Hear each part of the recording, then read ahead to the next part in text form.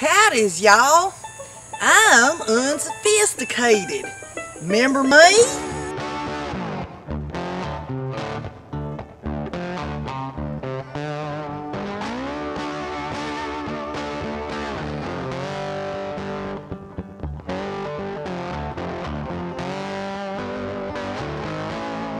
How y'all doing today? How's your mom and them?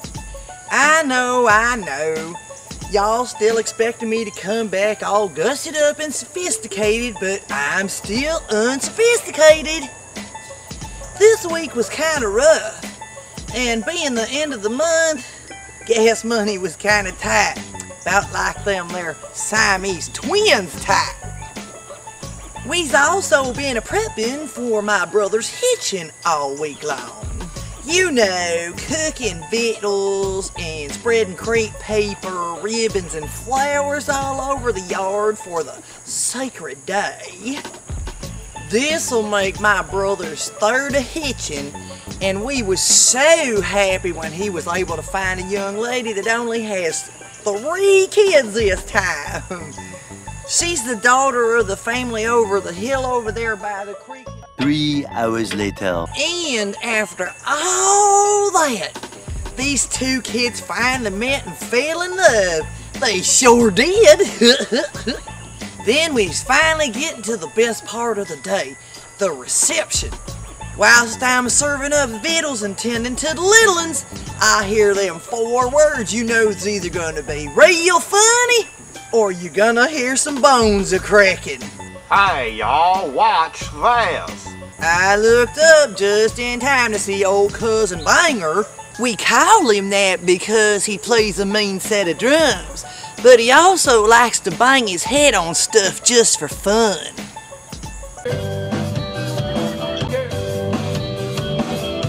Jumping from table to table when he falls and slides this freak slide head first right through that there awful divinity that Auntie always brings. She is so old that she can't tell the difference between whipped cream and cream of potato soup.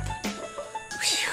Into the bride, breaking her leg almost half in two. Looked just like an angry bull charging through them there rodeo clowns, it sure did. Being I'm the only one that don't do no hard of drinking, I had to haul her to the doctoring place in Bullet, no less. You should have seen them boys lifting her in that there truck bed. Near took eight of them. They had to put them there bungee cords all over her to hold her steady. I tried my best to drive around all them there potholes. Hold on tight, sissy. Here we go.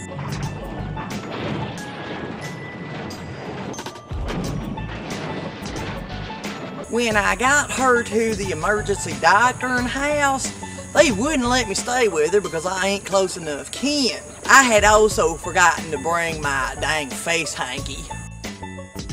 Them there doctoring folks told me that they would text me when I could take her back home again. I ain't got no uh, smartphone, so uh, I don't know who they's a gonna text. Now, whilst I was waiting out in that old bullet, I got to listen to the AM radio again, and you'll never guess who was doing a speech. None other than old Orangey. And he talked for a long time. I knows a little bit about that there, I do. They started out the show with that there great and patriotico song by Lee Greenwood. Proud to be an American. I do love that there patriotical song. God bless the USA. Now, I've been hearing folks talking about how they don't like how Orangey talks. That's kinda too personal, even you ask me. Ain't nobody can help the way that they talk.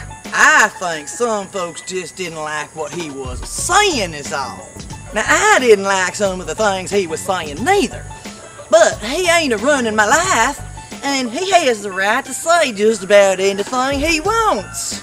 He is an American, I think. Now, I'd rather have somebody be able to say whatever the heck they want to say whenever they want to say it so that I know how to deal with that person in the long run. Don't forget, you let somebody talk long enough, they're going to tell you exactly who they are. Now, I always heard that their truth will set you free. But, but only after it makes you angrier than a hornet's nest that's been hooked by a bear.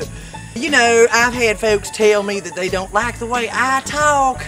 I just ask them, do I sound like I give a Donkey Kong? Old Orangey even told everybody that he got his vaccinations and that everyone else should do it too. I'm a trying, I'm a trying. I guess that makes him sophisticated now. Shoot, am I ever gonna get my sophistication? As I recall, old Orangey had that nasty old Corbell Breaker 19 virus when he lived up there in Washington, D.C. But he said he also got that there vaccination that makes you sophisticated. I couldn't believe his audience got upset about that. You should have heard him a booing. I was surprised. Don't these want to be sophisticated too? Old Orangey talked about all kinds of stuff that I have no idea about. Like you already know, I'm unsophisticated. Something about how this menstruation is bad and causing U.S. citizens danger because our old sophisticated president went on vacation while them folks overseas was having trouble because of something we was a doing or wasn't a doing over there. Come on now, I heard of this before. If in the memory serves, they called it a working vacation. If y'all ask me, that don't make a bit of sense though.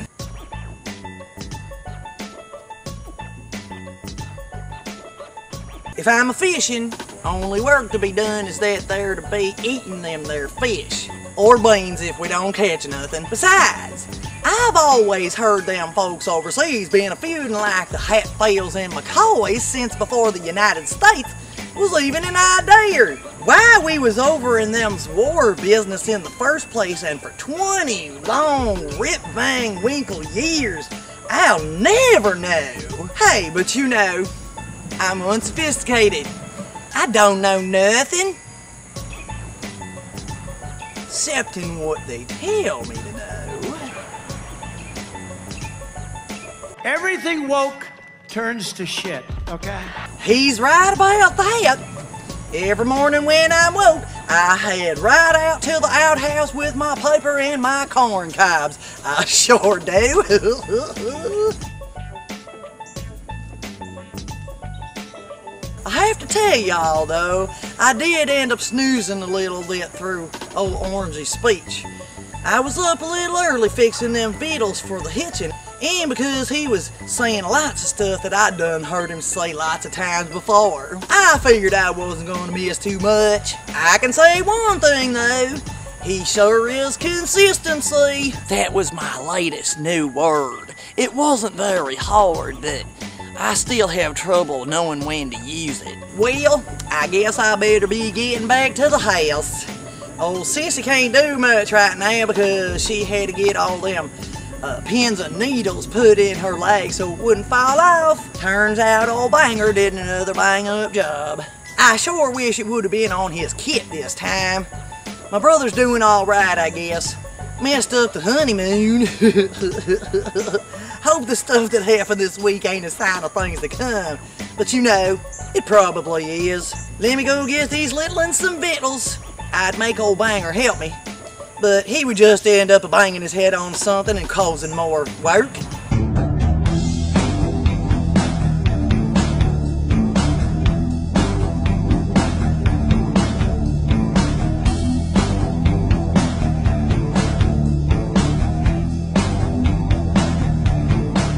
Sure can't wait to be getting my sophistication so I can meet some more sophisticated people. You know, the ones that keep telling everyone to be more like them. See y'all later. Y'all come back now. Yeah.